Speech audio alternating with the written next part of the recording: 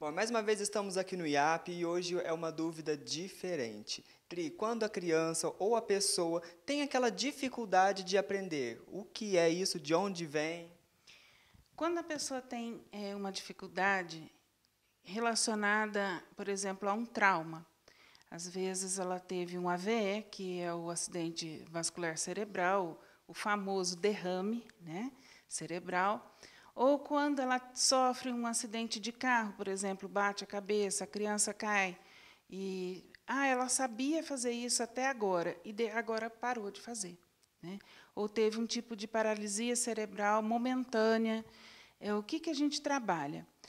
O objeto da, da neurociência é a neuroplasticidade, quer dizer, fazer a plástica do cérebro de novo. Né? Sem uma cirurgia, nada, né? Sem Esse detalhes. Isso. Às vezes, num caso de acidente, pode ter acontecido uma cirurgia de emergência e tal, mas a pessoa fica com essa sequela. Inclusive, o Covid trouxe esse problema para muitas pessoas. Elas esquecem como se aprende ou como se faz alguma coisa.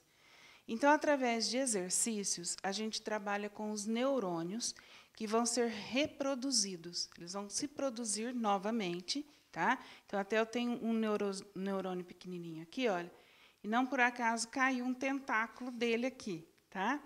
É como se acontecesse isso. Ele precisa chegar perto de outro neurônio para fazer a sinapse, que a gente chama. Se ele não tiver esse dentrito, ele não consegue fazer a sinapse e não aprende. Então, como que a gente faz isso? A gente alimenta o cérebro com exercícios, exercícios de memória, exercícios de marcha, exercícios motores finos e grossos. Esses exercícios vão ajudar, os jogos vão ajudar a pessoa a construir novos neurônios. E aí ela vai aprendendo cada vez mais. E quando a gente aprende cada vez mais, é quando a gente é, adquire novos conhecimentos e a aprendizagem vai fluindo. Então, assim, a neuroplasticidade ela é muito importante para todos nós, né?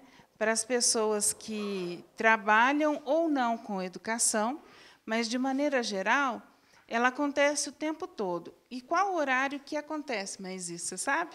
À noite. Isso. Ah. Por isso, o sono é muito importante. E de uma próxima vez a gente vai falar um pouquinho de sono. Audrey, então que vocês fazem esse tratamento e você dá dica também de quais os jogos a comprar, quais os, quais os brinquedos a comprar para essa criança? Bom, estou falando de crianças, mas não é somente em criança, não é? Isso.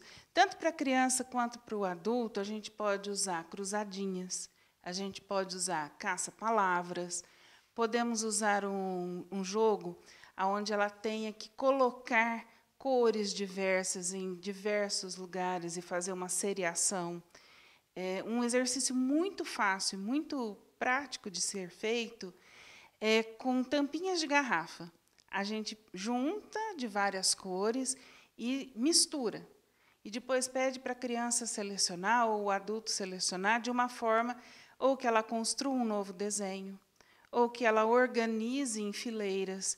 Isso tudo vai ajudando aos poucos a pessoa a fazer a neuroplasticidade. Olha só que bacana. E tem mais alguma dica que você dá para a gente já exercitando em casa? Olha, em casa, uma coisa muito bacana de ser feita é trocar a mão que você usa diariamente para fazer as coisas. Se você é destro, sempre escreve com a mão direita, tenta escrever com a mão esquerda. Bom, então já vou tentar aqui. Eu não consigo segurar o microfone com essa mão. Vamos lá, vamos ver se vai dar certo. Já vamos trabalhar o Gabriel. é, pentear o cabelo, escovar o dente com a mão trocada, é, tomar banho é, alguns dias com os olhos fechados. Não deu certo, olha lá, eu vou ter que treinar ele, hein, gente. E é, essas dicas são práticas e dá para fazer todo dia. Tá? É, na verdade, nós não somos habituados a usar os dois lados do cérebro. E quando a gente começa a usar esses dois lados, a neuroplasticidade flui. Então, é um dos exercícios que eu faço aqui com o pessoal.